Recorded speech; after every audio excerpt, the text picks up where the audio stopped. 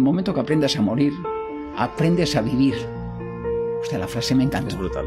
Pues sí, cuando tú ya eres consciente de que te vas a ir, no sabes cuál día, mm. ni qué día. Y a veces vas a poder controlar cosas y a veces no, es la vida. ¿Entiendes? Entonces, eh, es saber que un día vas a morir, que no eres eterno. Ni tú, ni, ni tu situación en un momento dado, por buena que sea y por mala que sea. No, nada es eterno en esta vida. Entonces, hay que, seguir adelante. Claro. Hay que seguir adelante.